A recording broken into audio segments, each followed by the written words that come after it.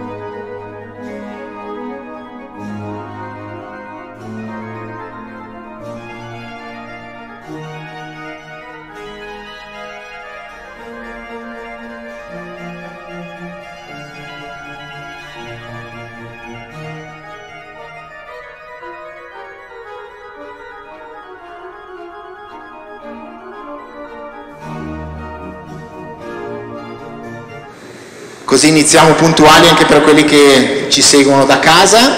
Allora un saluto davvero a ciascuno di voi. Per ehm, partecipare bene alla serata bisogna essere attrezzati. È bene che ciascuno di voi abbia un foglietto, ce l'avete? Sventolatelo per vedere se ce l'abbiamo. A nessuno manca, se mancasse andate a prenderlo. All'ingresso vi è stato dato anche un post-it e un pennarello con una penna. Ce l'avete? Allora possiamo cominciare. Eh?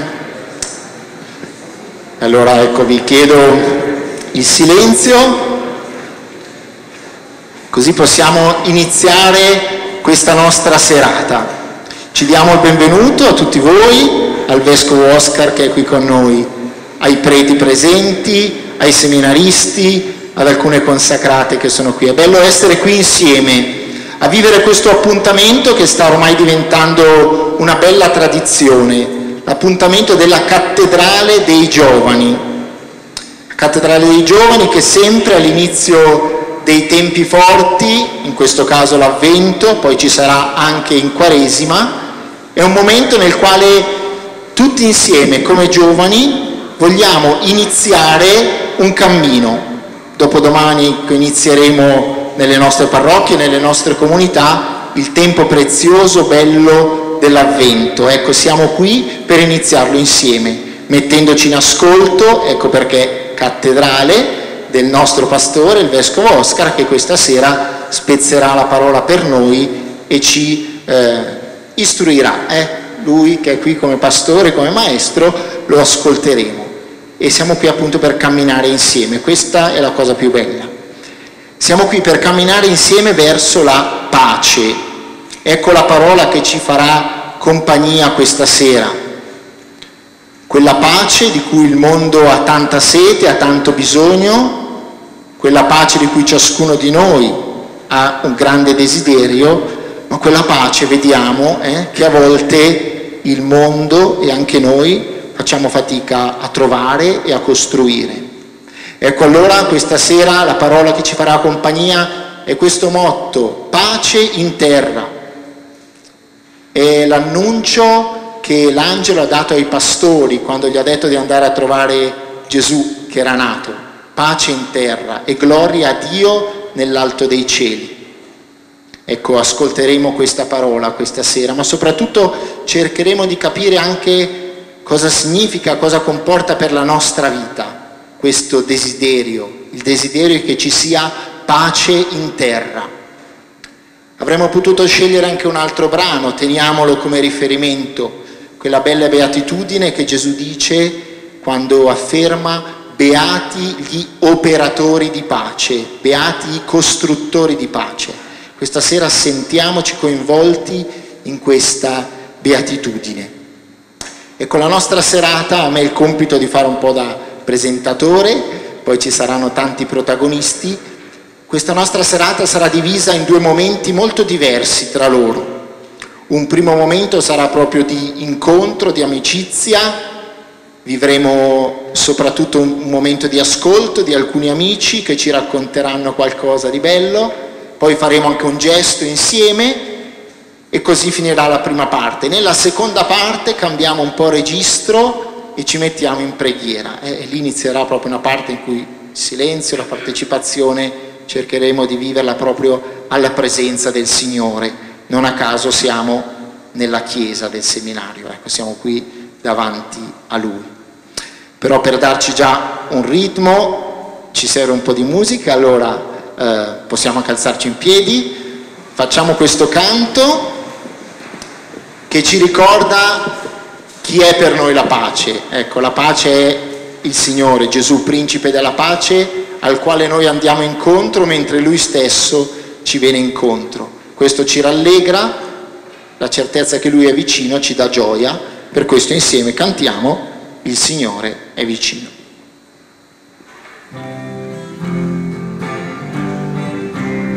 Signore è vicino.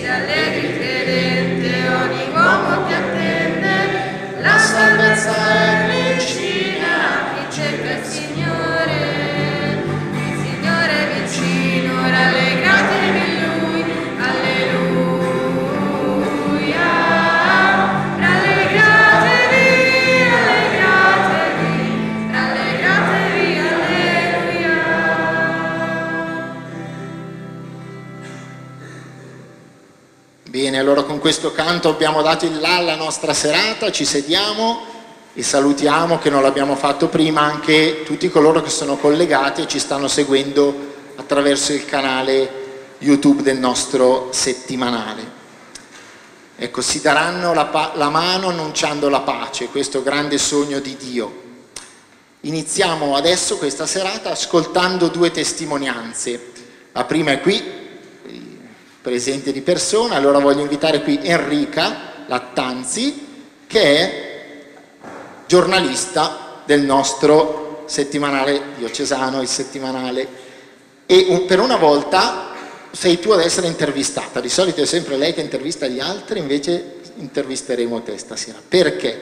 Perché Enrica è appena tornata, due giorni fa, dall'Uganda, dove ha partecipato insieme a una piccola delegazione della diocesi, adesso ci racconterà, alla beatificazione di padre Giuseppe Ambrosoli. Spero che tutti sappiate almeno un po' chi è padre Giuseppe, se non lo sapete poi andate a casa e cercate un po' di informazioni su di lui. Nella, nel link di YouTube di questa serata, nella descrizione troverete ecco, alcuni link al quale potrete trovare anche ecco, alcune informazioni su di lui. Non dedichiamo questa sera troppo tempo alla presentazione della sua figura perché già l'anno scorso avevamo dedicato tutta una cattedrale dei giovani a lui. Lì troverete anche la registrazione se volete andare un po' a riprenderla. Adesso dedichiamoci piuttosto ad ascoltare Enrica che ci racconta la gioia che ha vissuto giù in Uganda, e mi hai fatto vedere anche alcune foto, ce le farai vedere anche a noi, appunto del popolo ugandese che ha festeggiato questo nostro beato nativo della nostra terra.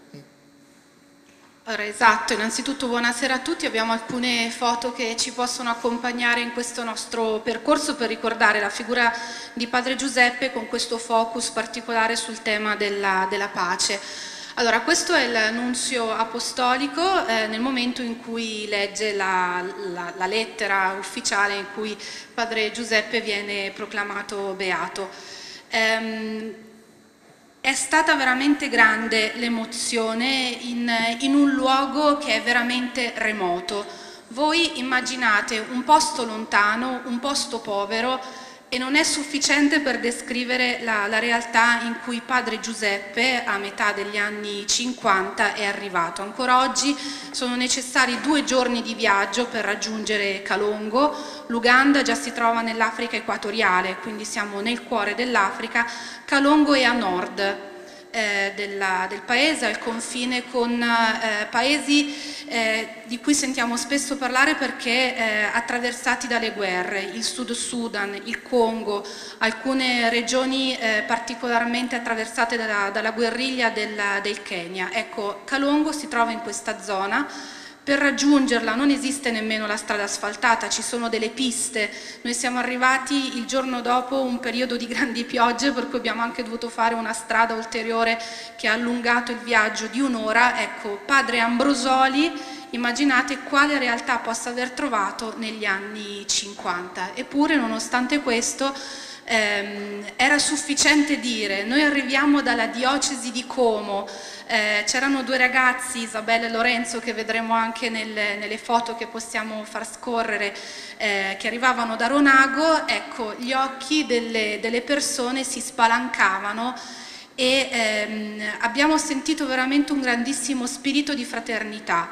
Tutti quanti ci hanno detto eh, noi siamo fratelli, siamo fratelli in Padre Ambrosoli, siamo chiese, eh, sorelle e, ed esprimevano un grandissimo grazie. Io sono piccola di fronte alla figura di Padre Ambrosoli perché In questa foto Enrica vediamo una delle tante processioni che da tutto il paese sono Sì, venute... sono arrivati tantissimi pellegrini a piedi, a piedi dalle, dalle zone tanti circostanti, villaggi. dai tanti villaggi circostanti, sì. tu mira, ecco, raccontaci questa foto. Allora, ehm, lei è Lucia Lomocol ed è la donna eh, che è, ehm, ha ricevuto diciamo, il miracolo della guarigione che ha portato al riconoscimento della beatificazione di Padre Ambrosoli. Eh, appunto non vogliamo parlare solo della figura di Padre Giuseppe ma abbiamo questo focus sulla, sulla pace. Eh, allora innanzitutto la realtà che c'è a Calongo è un miracolo continuo. Eh, Lucia eh, era arrivata in, in, un ospedale che era non sempre nella zona ma non era lì a Calongo eh, aveva appena perso il suo bambino, aveva una setticemia in corso e stava praticamente morendo. Il medico accanto a lei si chiama Eric Domini, eh, aveva conosciuto la figura di padre Giuseppe attraverso i racconti di padre Gitio Tocalli. Ehm, lui ha pensato accompagniamo questa donna alla morte e gli ha messo vicino al santino la preghiera di, di, padre Giuseppe e al mattino successivo era convinto di dover certificare la morte e invece l'ha trovata sana. In che misura Padre Giuseppe è stato operatore di pace anche in questo miracolo, non solo nell'aver restituito la vita a, a, Lucia, esatto, ma Lucia è di etnia Caramogiò, eh, Calongo invece è nel regno degli Acioli. Eh, Acioli e Caramogiò eh, sono continuamente in, eh, in guerriglia fra di loro eh, anche una settimana fa ci raccontavano, perché dovete sapere che Calongo è mm, dominato da questo grande monte che si chiama la Montagna dei Venti ed è un luogo ricchissimo di acqua. Quindi c'è questa lotta continua per i pozzi e anche per ehm, eh, i pascoli per cui anche nei giorni precedenti proprio alla beatificazione c'erano stati alcuni scontri, mh, eh, bestiame rubato, pastori che se le sono date di santa ragione, quindi ehm, non solo c'è questo miracolo della, della, vita salvata, ma è proprio un, un messaggio di pace perché ad aver raggiunto il, il, miracolo è stata una donna di, un, di, un'etnia dove solitamente le due realtà sono certo, in, in, contrasto. In Continuiamo le foto, vediamo qui mi raccontava anche la gioia proprio della celebrazione. Eh, la gioia, sì, allora, eh, dobbiamo uscire un po' dalla retorica, no, che è quasi del folklore africano, cioè le, le danze avevano veramente un significato anche liturgico, e le danze che sono state proposte durante la beatificazione sono delle danze tipiche eh, per quando i re locali o i dignitari locali fanno il loro ingresso. Quindi Padre Giuseppe è stato riconosciuto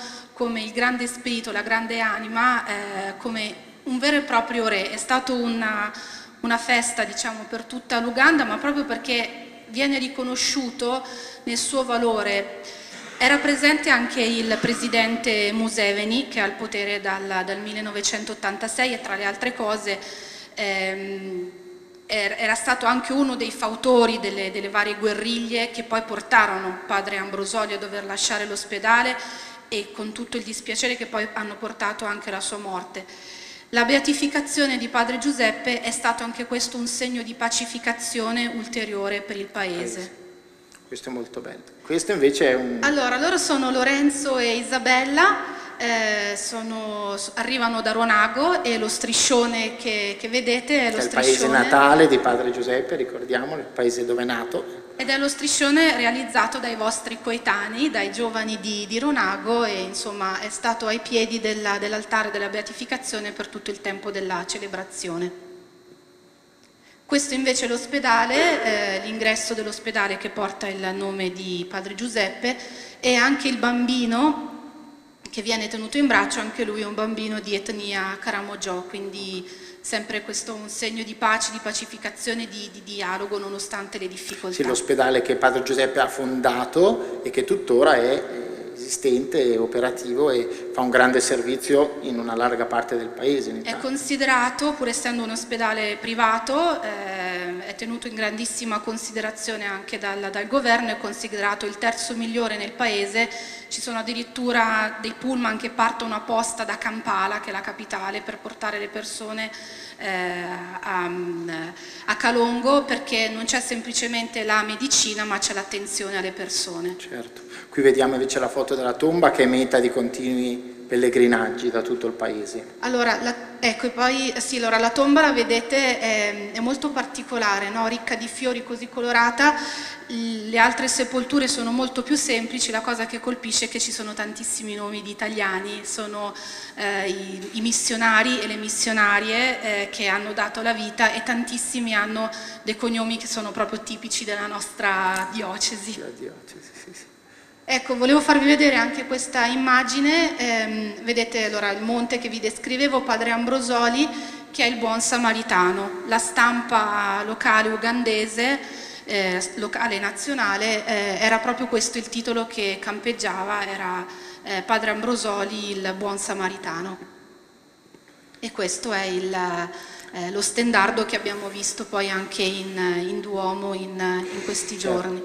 Tra l'altro diciamo è successa una cosa anche un po' molto simpatica perché alle beatificazioni succede che do, subito dopo la proclamazione lo stendardo viene svelato, prima era velato avevano organizzato delle carrucole, ma queste carrucole si sono bloccate. E allora cosa è successo? Altro che legge sulla sicurezza, lì se ne sono un po' fregati, cosa hanno fatto? Si sono arrampicati sul trabattello e in 448 hanno eh, svelato, tra le altre cose nel momento dello svelamento i ragazzi hanno tirato giù il cappello proprio in segno di, Infatti vediamo di riverenza. E questi due giovani che si sono arrampicati con grande energia e velocità per svelare il quadro di padre Giuseppe. Ecco, Beh. padre Giuseppe è stato un, un uomo di pace ehm, non soltanto perché l'ha vissuto sulla propria pelle sia da giovane e adesso volevo parlare con te proprio di questo perché sì. eh, vabbè, lui vivendo sul, sul, confine a Ronago eh, nel 1943 aveva aiutato tantissimi ebrei a riparare in Svizzera così come anche ex militari che non volevano eh, più continuare a, a, fare la guerra oppure persone che venivano requisite dalla Repubblica Sociale Italiana. Lui stesso si era rifugiato in Svizzera perché ormai era diventato un personaggio pericoloso, eh, pur di non mettere in difficoltà la propria famiglia lui è rientrato a Ronago, è stato costretto da studenti di medicina a lavorare nei, nei, dispensari, prima di Baggio, poi a Berceto, è stato anche in un campo di lavoro, possiamo immaginare... Prigionia. Ecco, un campo di prigionia. Però faceva il medico. Eh, vicino a, a Stoccarda quindi ha conosciuto sulla propria pelle che cosa significa la guerra e che cosa significa la persecuzione. L'ha ritrovato ulteriormente arrivando in Uganda, che fino agli anni 60 era un protettorato ehm, della, del Regno Unito e poi dopo sapete benissimo qual è, qual è la situazione spesso nei paesi africani di guerriglie, di tribù, ma lui tutto quello che ha fatto come operatore di pace l'ha fatto perché lui ha sempre messo le persone al primo posto e anche in tempo di guerra e di guerriglia non si è mai rifiutato di offrire il suo servizio di medico a nessuno, ha sempre curato tutti a prescindere dalle appartenenze, anche quando erano quegli stessi nemici che lo stavano costringendo ad abbandonare l'ospedale. Certo e questa ecco, dedizione incondizionata davvero verso tutti, verso i più poveri, nasceva dalla sua fede in Cristo a cui lui aveva donato la sua vita. Eh.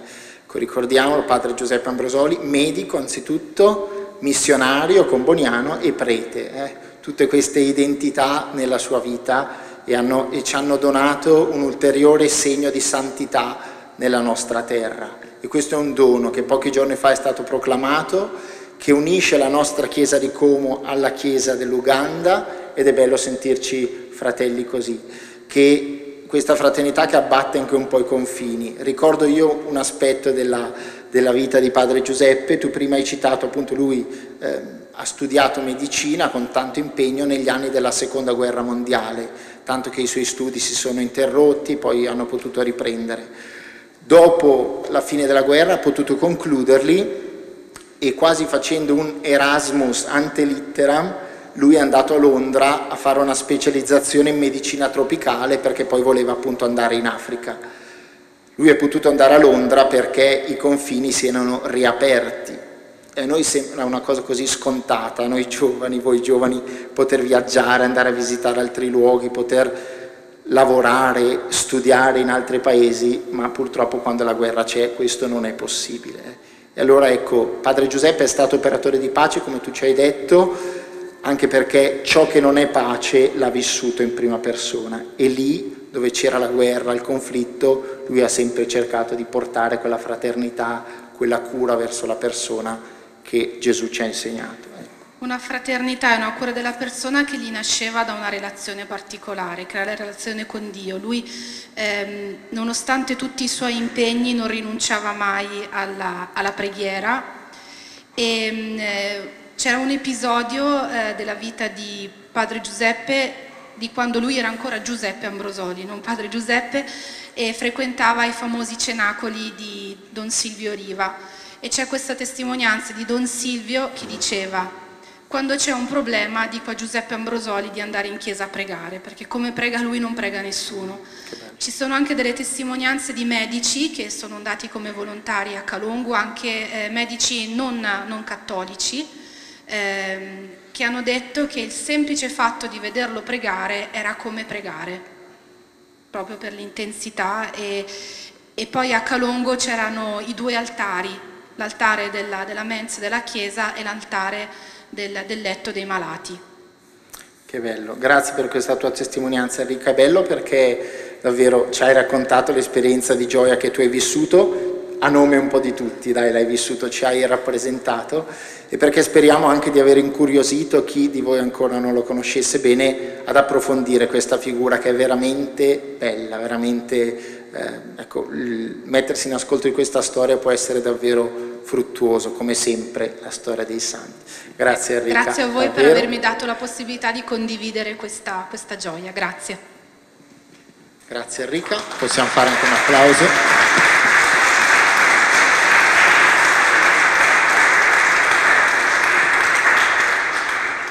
La seconda testimonianza invece ci arriva tramite un video e siamo più vicini rispetto all'Africa perché dobbiamo andare solo a Milano dove una ragazza, Anita, ci racconta in 5 minuti un'esperienza, aspettiamo a farla partire, un'esperienza che lei vive facendo parte di un'associazione, di un gruppo, la comunità di Sant'Egidio, che da sempre in vari modi, e adesso lo ascolteremo, cerca di costruire pace. Ciao a tutti, sono Anita e ho quasi 19 anni e sono una studentessa universitaria a Milano e faccio parte della comunità di Sant'Egidio da circa 4 anni e faccio parte anche di un movimento chiamato Giovani per la Pace che appunto comprende tutti i giovani e studenti che fanno parte della comunità e insieme ogni giorno passo dopo passo cerchiamo di migliorare le realtà in cui viviamo come meglio possiamo. Infatti la comunità è impegnata in 70 paesi in tutto il mondo e um, si occupa appunto di stare al fianco dei poveri, è occupata nella mediazione tra conflitti, nella mediazione tra religioni per la pace e in molte molte altre iniziative di pace. E noi generazione Z possiamo essere in un certo senso definiti la generazione della pace, in quanto siamo nati e cresciuti anni dopo l'89, quindi dopo il crollo del muro di Berlino, e quindi siamo cresciuti in un clima in cui almeno in Occidente eh, la, la, la guerra sembrava un qualcosa di lontano da noi che non ci riguardasse. E um, nonostante comunque nel resto del mondo molti conflitti non siano poi mai terminati. E questo però purtroppo non è più vero nemmeno per l'Occidente, infatti come tutti sappiamo viviamo in tempi difficili in cui la guerra è arrivata anche in, um, in Europa.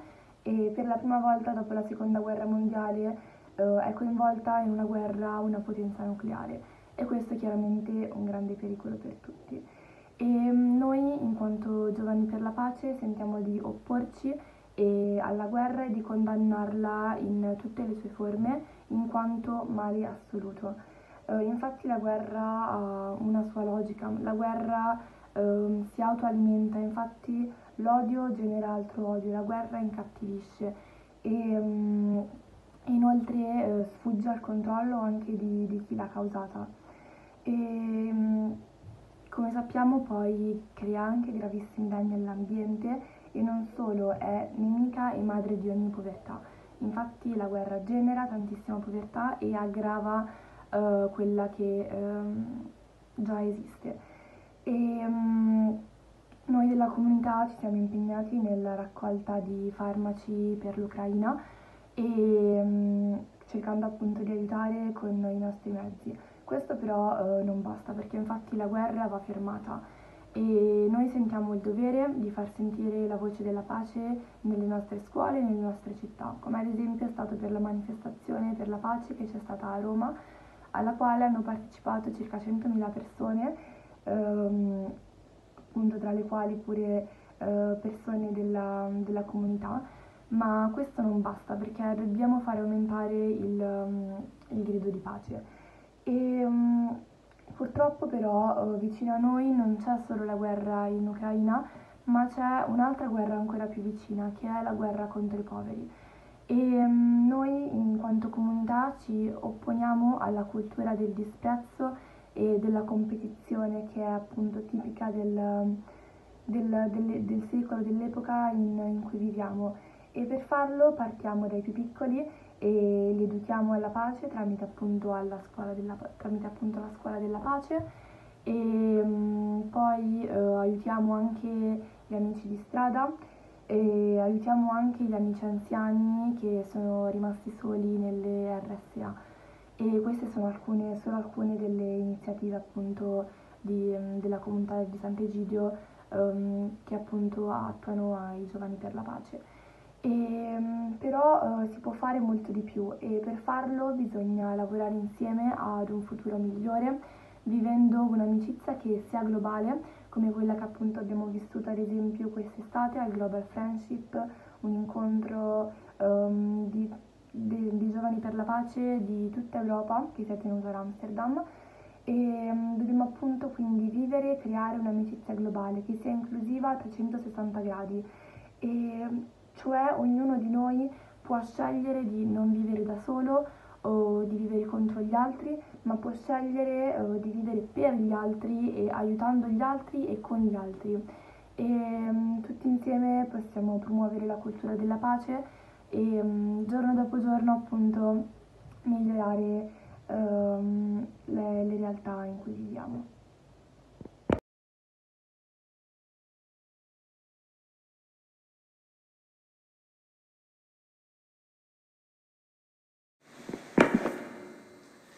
Ci scusiamo se forse qui in chiesa purtroppo a causa del rimbombo si è capita un po' poco, magari non si è capito bene tutto, forse chi ha seguito da casa è stato più facilitato, eventualmente andando a riascoltare la registrazione della serata che rimarrà sarà facile. Ecco, Anita ci ha raccontato questa esperienza, comunità di Sant'Egidio che opera sia a livello globale su grandi contesti, sia anche con gesti molto piccoli, un'iniziativa che ricordava era questa volontariato nelle case di riposo per fare compagnia agli anziani più soli. Ecco, sono degli amici, hanno fatto questo video per noi, ci salutano, salutano il Vescovo, che conoscono anche, Don Danilo porta i suoi saluti, e chi di voi bazzicasse a Milano per motivi di studio così volesse entrare a contatto anche con questa esperienza, può farlo, basta chiedere. Bene, allora abbiamo ascoltato queste due testimonianze, almeno quello che siamo riusciti a comprendere, a capire, Adesso tocca un po' a voi. Facciamo questo non gioco, ma questa attività in un momento di silenzio accompagnati da un po' di musica, mentre poi anche ci prepariamo per iniziare invece la preghiera. Ciascuno di voi provi a scrivere su quel post-it che è stato dato la continuazione a quella frase, la troviamo lì vicino al tabernacolo. Pace è, scegliete una parola, massimo due, tre, non di più. Pace è ciascuno anche a fronte di quello che abbiamo ascoltato, a fronte di quello che porta nel cuore, provi a scrivere questo post-it. Poi chiedo la cortesia a chi è all'inizio della fila di raccogliere i post-it, venire qui e appiccicarli. Grazie.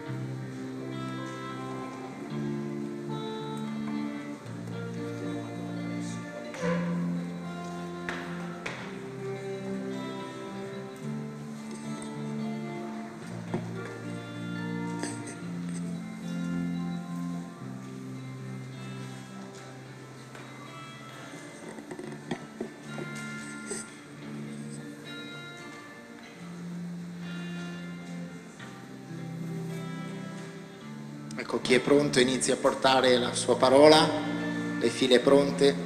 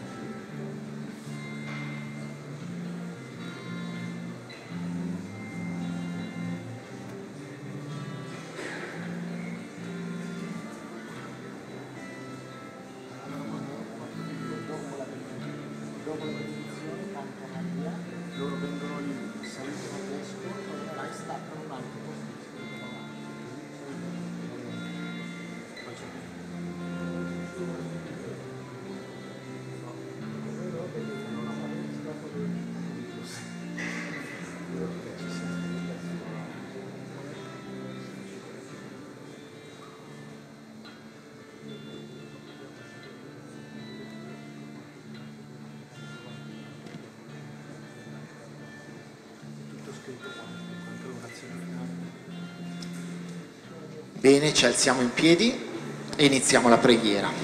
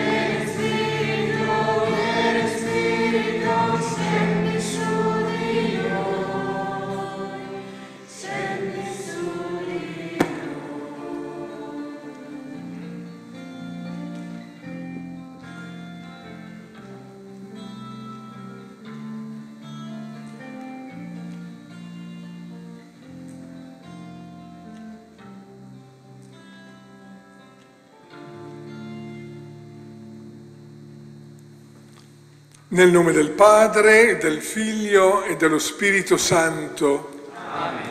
La pace sia con voi. Vi risaluto tutti. Sono molto lieto di essere qui con voi per vivere questa serata, per chiedere al Signore il dono della pace, una pace che comincia con una visitazione del Signore dentro il nostro cuore perché diventiamo tutti uomini e donne di pace.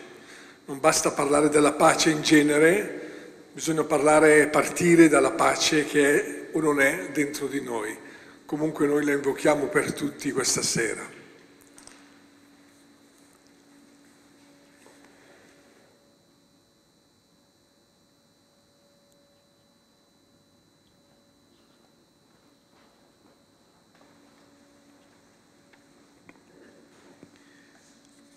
Dio Padre, noi ti ringraziamo perché ci doni questo tempo, ci riunisci alla tua presenza per farci ascoltare la tua parola, che è lampada per il nostro cammino. In essa tu ci riveli il tuo amore e ci fai conoscere la tua volontà. A tacere in noi ogni altra voce che non sia la tua, e perché non troviamo condanna nella tua parola, letta ma non ascolta, meditata non amata, pregata ma non custodita, contemplata ma non realizzata. Manda il tuo Spirito Santo ad aprire le nostre menti e a guarire i nostri cuori.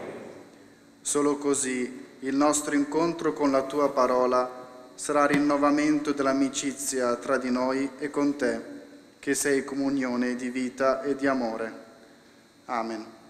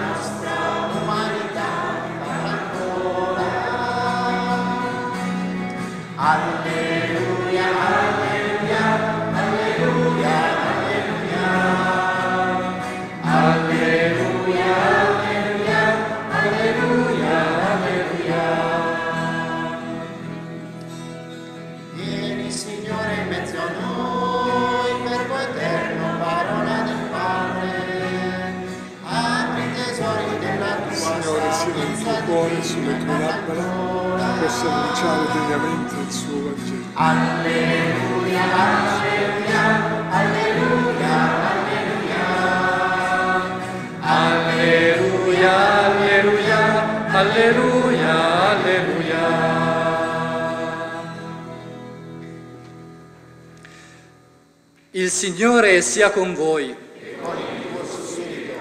Dal Vangelo secondo Luca.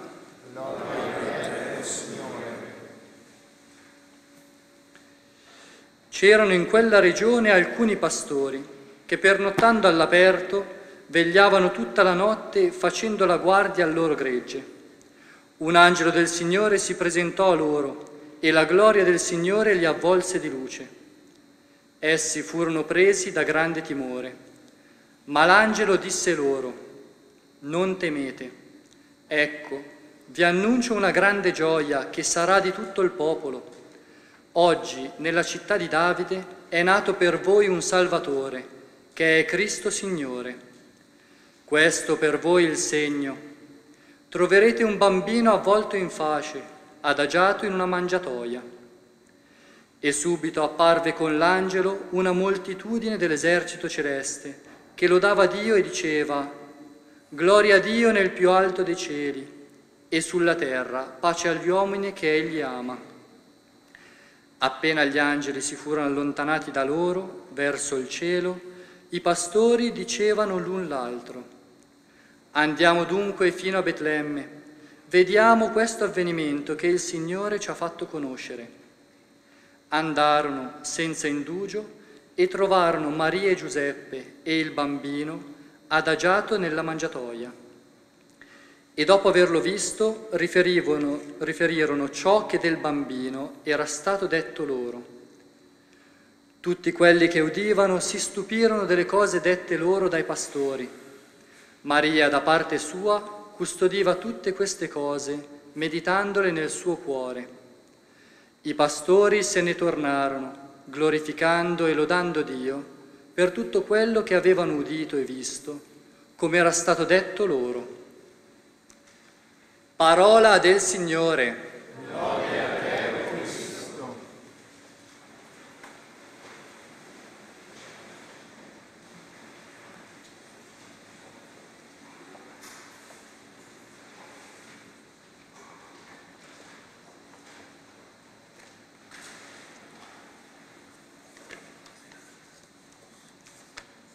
Assieme a voi saluto anche gli amici che ci stanno seguendo via streaming.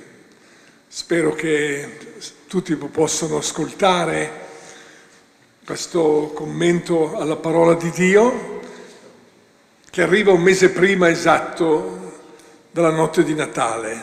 eh? Fra, un, fra un mese esatto è Natale. Allora noi eh, recuperiamo questo testo, lo anticipiamo meglio per prepararci a viverlo con più intensità, perché è una fatica oggi vivere il Natale, perché c'è un bombardamento tale di immagini, di luci, di... che ci si dimentica chi è il festeggiato. E allora riproponiamo questo brano, cominciando da questa osservazione, che Dio sconvolge le prospettive umane, le attese dell'uomo. Dobbiamo mettercelo in testa perché lo dimostriamo. Essendo il figlio di Dio, cosa ci saremmo aspettati? Ci saremmo aspettati che questo figlio avrebbe dovuto nascere perlomeno in una reggia, è il figlio di Dio. E invece Gesù nasce in una stalla. C'è un contrasto, eh? Il Salvatore, pensate all'immagine del Salvatore, come ce lo mettiamo in testa noi, un Salvatore. È una persona potente, una persona che può imporsi e dire qualcosa, dire la sua, no? Bene, il Salvatore è un bambino avvolto in fasce, in una mangiatoia. E uno comincia a non capirci più, ma che cosa succede? Il Messia, quel Messia che il popolo di Dio attendeva, perché c'era un'attesa viva del Messia. È un bambino che compare nella storia confuso dentro gli uomini che non contano. Va in un paesino e incontra delle persone che non contano, ossia i pastori.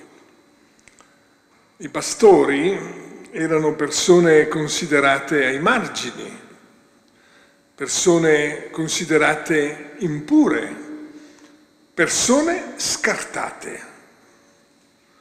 Dio si presenta in mezzo alla gente tra le persone scartate, non ha paura, non ha vergogna. Poi ancora, questo Messia, atteso dalla gente, noi penseremmo che debba essere accolto da tanta gente. Il Vangelo avete sentito, no? non c'è dentro quel brano qui, ma qualche, qualche riga prima. Vanno per essere ospitati in un albergo cosiddetto, era un caransavaglio, e non c'è più posto. Non c'era posto per loro all'albergo. Vedete il Messia? Ecco, il Vangelo di Giovanni dice venne tra la sua gente e i suoi non lo accolsero. C'è qualcuno invece che lo accoglie e che lo riconosce, lo testimonia. Sono i pastori, come vi ho detto, gente povera, piccola. E a questi pastori gli angeli danno una notizia bella, grande, sublime. Gloria a Dio nell'alto dei cieli e pace in terra agli uomini amati dal Signore. Questa è una frase che deve risuonare dentro ciascuno di noi, anche nei momenti difficili, anche nei momenti in cui siamo di basso tono. Gli uomini sono amati dal Signore, questo è l'annuncio. La gloria di Dio è l'uomo vivente. Questa frase qui, che è di Sant'Ireneo, è la frase più citata lungo tutta la storia della Chiesa. La gloria di Dio è l'uomo vivente. Ecco, la gloria di Dio però si nasconde dentro una storia di povertà, di semplicità, perché Dio va a raccontarla e a gestirla nei poveri. Se si è poveri si capiscono tutti questi stili così difficili da comprendere da parte di Dio. E allora con la nascita di Gesù Dio rivela il suo volto, che è un volto di pace. Il volto di, del Padre è Gesù. Lui dirà sono la pace, egli è la nostra pace, viene detto. E la comunità cristiana cosa è chiamata a fare? Proprio per dare gloria a Dio è chiamata ad essere un segno di pace e uno strumento di pace tra gli uomini. Ecco la nostra identità e la nostra missione. Chi siamo noi? Siamo uomini e donne di pace. Siamo strumenti di pace tra gli uomini. Allora una pace che viene donata, perché la pace è dono di Dio, una pace che viene dentro di noi, che noi gustiamo, ma anche una pace che viene trasmessa agli uomini. Ecco il compito missionario della Chiesa e dei discepoli del Signore. Vi ho detto che la pace non è una conquista umana, è innanzitutto Dio che irrompe nella nostra umanità e ci dona questo dono. La pace è una, è una parola sintetica, ossia raggiunge eh, tutti i doni del Signore. Nella parola pace ci sono dentro tutti i doni che Dio vuole elargire agli uomini. Soprattutto Dio ci vuole uomini liberi, uomini completi, uomini gioiosi, uomini capaci di relazione fraterne, uomini e donne capaci di vivere rapporti sereni, uomini e donne responsabili gli uni degli altri. Quindi la pace deve essere per tutti, cominciando dai più poveri, di cui i pastori sono un segno. Quindi la pace, oltre che un dono, o proprio perché è un dono, è anche un compito, perché ciò che ci è donato deve essere trafficato e deve essere restituito. Fin qui tutto chiaro, no? Adesso però dobbiamo farci una domanda. Ma io sono un uomo di pace? È una domanda che ciascuno di noi deve farsi. Certo, noi viviamo in un contesto in cui la pace non c'è. La pace, eh, vediamo che il mondo oggi è in guerra e non solo in Ucraina, ci sono tante guerre nel mondo. Papa Francesco ha detto che noi viviamo la terza guerra mondiale a pezzi, ricordate? L'ha ripetuto varie volte. Lui che ha uno sguardo complessivo nella visione del mondo, vede tante situazioni difficili, problematiche, sofferenza, tante guerre in tante parti del mondo, non solo in Ucraina lotte fratricide, poi la fame, la sete, le malattie dovute alla pandemia, l'economia fondata sull'individualismo piuttosto che sulla condivisione solidale. Oggi la giornata che commemora le donne uccise in famiglia. A pensarci il numero sono più di cento, mi pare, in Italia, solo in Italia. E allora ci domandiamo, viviamo in un contesto in cui sì ci sono tante marce per la pace, ma non basta fare la marcia sulla pace. Bisogna renderci conto dove siamo, da una parte, ma anche d'altra parte renderci conto che noi diventiamo, siamo chiamati a diventare uomini e donne di pace, nonostante le nostre fatiche. E il primo modo per costruire la pace, sapete qual è? Quella di ammettere a noi stessi che noi non siamo uomini e donne di pace. La mamma capisce quando entrate in casa come sbattete la porta, come reagite davanti a lei che vi chiede com'è andata.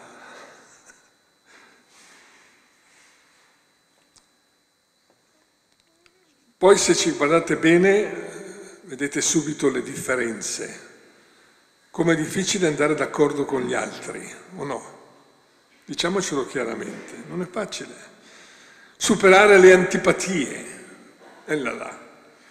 Le inimicizie, perché ci sono solo i nemici che si combattono con le bombe. Sapete che ha fatto più danni la lingua che la spada, eh? Basta fare una critica che smonti una persona. Basta fare una smorfia e subito questa persona è distrutta, la squalifichi. E i nostri egoismi, il nostro comodo, e lo sperimentiamo tutti i giorni. E allora per fare la pace Bisogna innanzitutto metterci davanti al Signore e supplicare che questo dono noi lo realizziamo perché ci dona il suo Spirito, che è spirito di pace, che è spirito di comunione, che è spirito di gioia, che è spirito di responsabilità, che è spirito di fratellanza, che è spirito di servizio, che è spirito di condivisione e poi andate avanti voi. Senza una preghiera il nostro cuore non si spezza e non si frantuma, diventa sempre più duro come possibilità di dire cattiverie, come possibilità di dire te la faccio pagare. Io mi ricordo di questo. Preghiera quotidiana. E la domanda è, voi pregate per la pace? Pregate tutti i giorni per la pace? Certo, dobbiamo pregare per la pace in Ucraina, quando, quando ci vediamo alla televisione non ridiamo, quando pensiamo a quelle persone che sono al freddo e al gelo, quando pensiamo a tutto quello che sta succedendo, c'è qualcosa che dentro di noi ci fa capire che siamo in un mondo dove la pace è lontana, mille miglia. Ebbene, Uomini e donne di pace diventiamo quando siamo aperti a conoscere i problemi del mondo e della storia di oggi. E allora bisogna avere uno sguardo globale per capire, per conoscere le sfide, per conoscere le situazioni, per sostenere le varie realtà che esistono nel mondo non basta vivere nel nostro piccolo mondo e prendercela per tante scelte che sono del tutto inutili. Apriamo lo sguardo su un mondo che va molto spesso secondo un desiderio che non è quello di Dio, perché Dio vuole la pace. Dio ci ha creato come fratelli e sorelle perché siamo tutti suoi figli. E poi ci sentiamo cittadini del mondo, perché siamo tutti interconnessi, no? E nessuno può girarsi dall'altra parte e dire queste cose non mi interessano. No, no, sei dentro una storia, sei impegnato anche tu a partecipare dal di dentro con tanti mezzi, anche qualificandoti professionalmente, anche scegliendo come impegno futuro dei compiti che ti daranno una vita difficile, ma servirà a fare qualcosa di bello e di buono per gli altri. Voi state studiando, è una fatica, certo, ma senza questa fatica non ci si prepara ad affrontare il mondo e a risolvere certe scelte che si possono risolvere se si ha una qualifica sufficiente se si è in certi posti di responsabilità. E allora bisogna armarsi di tempo, di cultura, di formazione, anche politica. E dobbiamo aiutarci gli uni gli altri per qualificarci come discepoli del Signore che hanno da vivere una vita alternativa una vita che è secondo il Vangelo. Non si tratta di fare chissà quali cose straordinarie, solo di vivere in una vita bella, umanamente piacevole, ma anche solidale, responsabili gli uni degli altri. Quanto solidarietà sono nati tanti gesti, soprattutto in questi mesi. Penso a quelli che hanno preparato i beni da portare in Ucraina, la vostra parrocchia mi pare, no? Penso alle persone che hanno ospitato nelle loro famiglie altre famiglie che sono venute ospiti, eccetera. E poi, assieme alla solidarietà, l'impegno di costruire la pace giorno per giorno, qui dove noi siamo in famiglia, nel rapporto tra fratelli e sorelle, siete in pace? con i propri genitori, a volte tanto diversi da come credevamo che fossero. E vanno accettati, bisogna imparare ad accoglierli, a sentire anche le loro idee e non dire tu sei dell'altro mondo, capisci niente, capisco tutto io. Ecco, imparare a controllare le proprie reazioni, la propria istintualità per non aggredire gli altri. Difficile, eh? Tanto diversi da noi, magari con reazioni inappropriate. Che fatica, ma che esercizio per costruire la pace, ma che dono che il Signore è pronto a regalarci. E poi c'è, eh, finisco, il dialogo tra le diverse generazioni. Non ci sono solo i giovani, adesso siamo qui, ci siete voi, giovani, ma c'è un dialogo tra le diverse eh, generazioni. I giovani che hanno bisogno dell'esperienza esistenziale e spirituale degli anziani.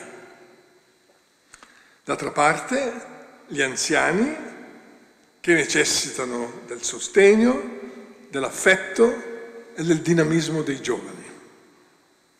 Ecco, allora, questa sera spero di aver svegliato la vostra coscienza, a partire da un Dio diverso da come ce lo aspettiamo, da un Dio che condivide la nostra natura umana, che entra con uno scopo Dare l'immagine di Dio, che è il Dio che si spende, il Dio che si regala a tutti, il Dio che vuole la pace e il bene di tutti. E preghiamo per la pace per tutti quegli operatori di pace che conosciamo e che sono attorno a noi, che lavorano per la pace come educatori, come insegnanti, come sacerdoti, come costruttore di ponti, con tutte quelle persone, insomma, che sanno rigenerarsi per rendere un mondo più bello, più amabile, più secondo il piano di Dio. E questa è la nostra preghiera questa sera. Grazie.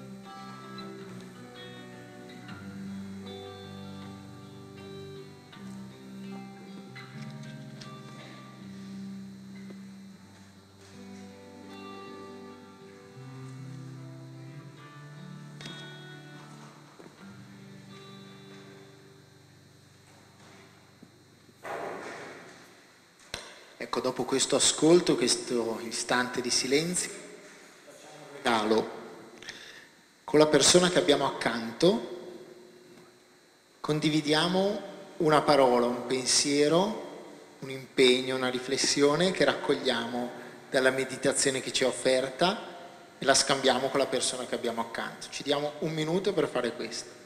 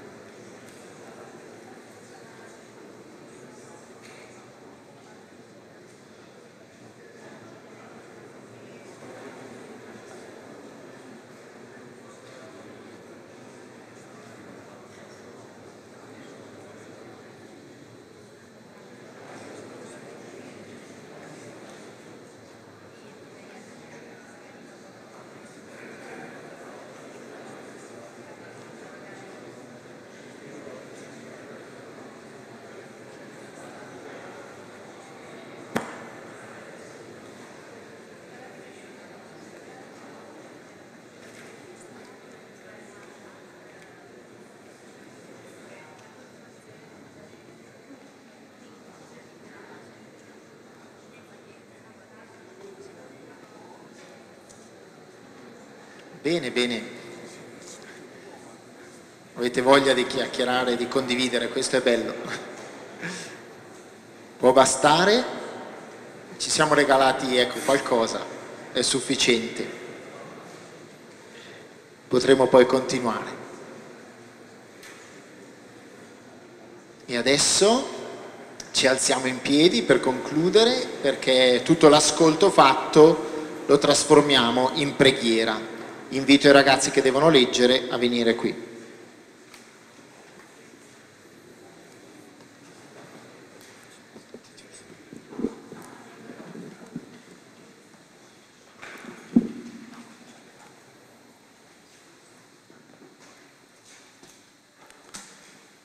Benediciamo il Signore che viene. Invochiamolo insieme dicendo, Gesù, Gesù, principe, principe della della pace, vieni, vieni in mezzo a noi. Cristo, inviato dal Padre, dall'Oriente all'Occidente, tu fai risuonare il Vangelo per i poveri. Gesù, principe della pace, vieni in mezzo a noi. Germoglio di ogni giustizia, tu ispiri all'umanità cammini di liberazione, di fraternità, di perdono e di pace. Gesù, principe della pace, vieni in mezzo a noi. Figlio di Abramo, tu rendi partecipi tutti i popoli delle tue promesse e delle tue benedizioni. Gesù, principe della pace, vieni in mezzo a noi. Figlio di Abramo, speranza delle genti, tu inviti alla tavola del tuo regno donne e uomini di ogni terra e cultura. Gesù, principe della pace, vieni in mezzo a noi. Luce dei viventi, accogli presso di te nella tua pace tutti i figli da te radunati. Gesù, principe della pace, vieni in mezzo a noi.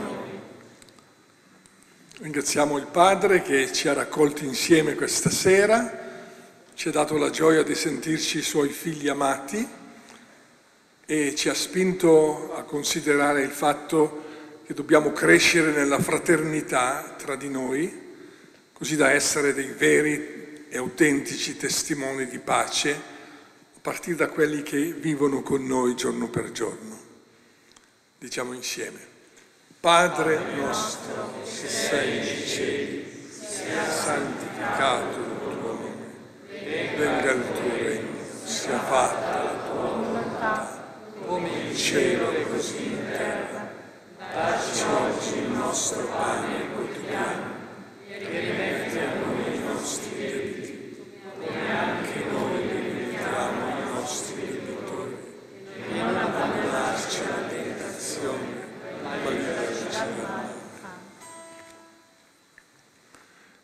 Signore Dio, nostro Padre, rendi vigilante la tua Chiesa nell'attesa di Gesù, tuo Figlio e nostro fratello, che sempre viene in mezzo a noi come principe della pace. Donaci di ascoltare la sua voce e di andare incontro a Lui e con Lui incontro a tutti. Potremo così diventare operatori di pace, che è tuo dono e nostra responsabilità. Donaci di costruire insieme il tuo regno, festa senza fine, dove tu, Dio benedetto, sarai la gioia di tutti. A te la nostra lode nei secoli dei secoli. Amen. Adesso riceviamo la benedizione del Signore che porterete anche nelle vostre case. Vorrei che giungesse come segno di pace e di consolazione ai vostri genitori, ma anche ai vostri fratelli e sorelle e anche ai vostri nonni, se avete ancora la fortuna di averli. Signore sia con voi.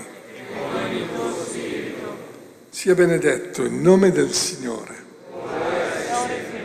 nostro aiuto è nel nome del Signore. Vi benedica Dio Onnipotente, Padre, il Figlio e lo Spirito Santo. Amen. Ci sediamo un attimo perché prima di concludere con un canto a Maria e prima di andare poi a fare un po' di festa, un momento di amicizia che il seminario ha preparato per noi, ringraziamo Ecco, insieme a Don Pietro abbiamo un po' di avvisi e appuntamenti da darci. Ecco. Bene, allora il primo non è un avviso, ma è un invito. È un invito per voi che questa sera possiamo lanciare ufficialmente e ve lo facciamo così.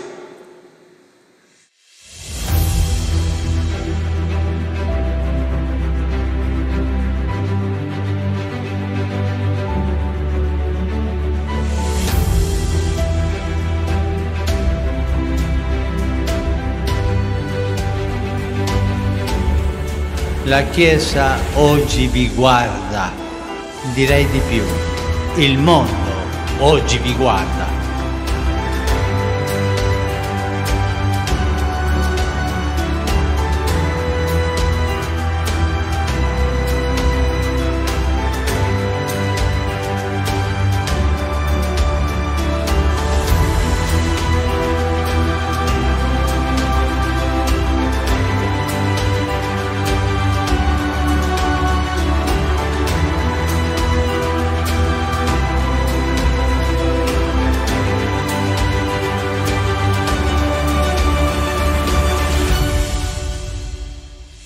Per seguire Gesù bisogna avere una dose di coraggio, bisogna decidersi a cambiare il divano con un paio di scarpe che ti aiutino a camminare su strade mai sognate.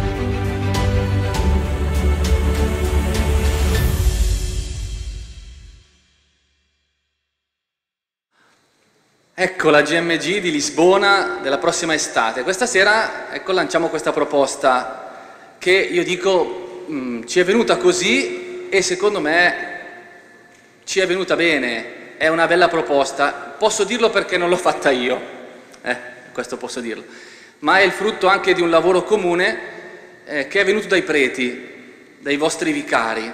Quindi eh, dovete anche ringraziare loro perché si sono messi insieme per pensare a questa proposta da farvi questa sera. Io sono solo anche loro portavoce. Giornata mondiale della gioventù che vorremmo fosse un pellegrinaggio e un'esperienza vocazionale, ragazzi. Vocazionale. Sarà un incontro con il Signore prima di tutto e per questo sarà una festa che non escluderà niente di ciò che c'è di più bello della vita.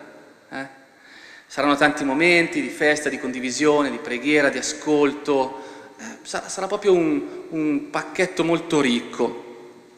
Vocazionale è rivolto a voi, soprattutto per chi porta nel cuore una domanda sulla propria vita, sulla propria vocazione, chi ha un po' di fastidio, di inquietudine sul proprio futuro.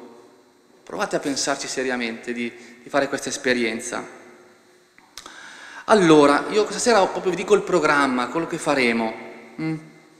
Allora, sarà una, una giornata mondiale della gioventù itinerante. Le date sono 31 luglio, 8 agosto.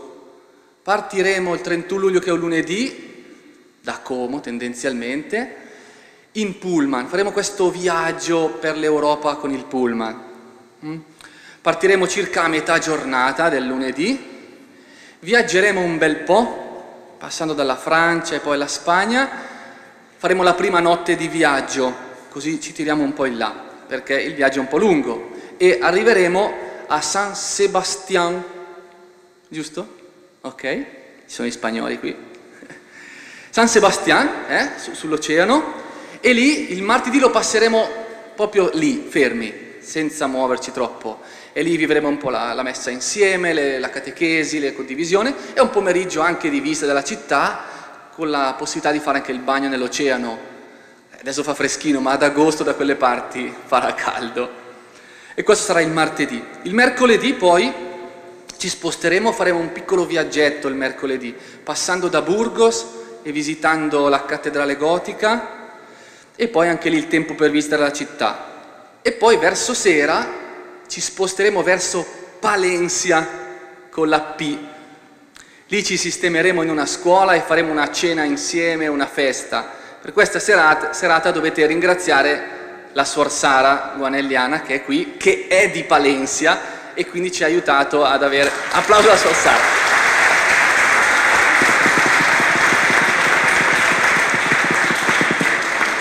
C'ha gli agganci giusti e quindi saremo lì. Il giovedì faremo lo spostamento da Palencia con una tappa di mezzo che stiamo studiando, potrebbe essere Salamanca o dintorni, e arriveremo il giovedì sera a Lisbona. Pernotteremo lì e poi il venerdì, sabato e domenica saremo a Lisbona, vivremo gli appuntamenti della giornata mondiale della gioventù, quindi la Via Crucis con il Papa, la veglia del sabato sera e l'Eucarestia della domenica. Terminata poi l'Eucarestia la domenica pomeriggio, riprenderemo il nostro pullman, viaggeremo ancora, lì faremo una notte di viaggio e arriveremo a Barcellona. A Barcellona arriveremo il, lun- il lunedì mattina.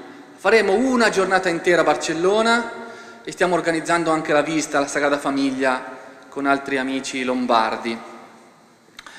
Lì poi la sera saremo alloggiati in hotel, anche perché abbiamo cercato di alternare un po' le, le notti, proprio quelle allo sbaraglio, ad alcune un po' più, un po' più sicure e tranquille, e poi il martedì 8 ritorneremo a Como. Ecco, questo più o meno è il programma. La quota Abbiamo già fatto di tutto per contenere il più possibile i costi, la quota sarà di 790 euro. Trovate poi tutte le informazioni di cosa comprende, quasi tutto, sono escluse alcune cene e alcuni pranzi, poca roba, ma cercheremo poi di, di fare il possibile per, per cercare anche di includerli. E ovviamente tutti i pernottamenti, eccetera. Le iscrizioni per chi sono? Sono per i ragazzi, per i giovani, dal 2005 in su, ok? quindi per chi nel 2023 farà 18 anni, va bene anche se ne ha 17 non li ha ancora compiuti, però dal 2005 questi sono i destinatari. Le iscrizioni entro quando? Allora sarebbe bene che cominciate già a parlarne con i vostri preti o catechisti educatori e cominciate a, condividere un po' il desiderio se ce l'avete. E anche ai sacerdoti dico di entro gennaio almeno di avere una previsione, perché capite che noi dobbiamo fissare per notare alcuni luoghi quindi avere indicativamente quanti potremo essere. Le iscrizioni si chiuderanno ufficialmente senza più missioni il 9 di aprile, sarà Pasqua, ok? Quindi cominciate a pensarci, adesso arriva Natale, se dovete farvi fare un regalo di Natale dai nonni o dagli zii, fate comprare un pezzettino di GGMG. Ecco, trovate tutte le informazioni che vi ho detto dettagliate sul nostro sito giovani.diocesigumo.it sono, c'è il programma, ci sono eh, come iscriversi a gruppi. Per i preti, dico, ci sono anche delle schede di preparazione alla GMG, le abbiamo appena pubblicate e ne pubblicheremo anche altre e tutte le informazioni. Ok? Poi vi lasciamo anche un piccolo volantino di ricordo. Fate passare la voce ai vostri amici. E questa era la prima comunicazione, primo invito. Il secondo, sempre per voi giovani, vi vogliamo accompagnare in questo cammino d'avvento attraverso i nostri canali social. Anche qua io sono negato totalmente, ma per fortuna ho gente intorno a me, Andrea e altri che sono preparati e con loro vi terremo aggiornati. Quindi il mercoledì, il venerdì, la domenica pubblicheremo sempre un invito alla preghiera per tutto il cammino dell'avvento, quindi rimanete sintonizzati.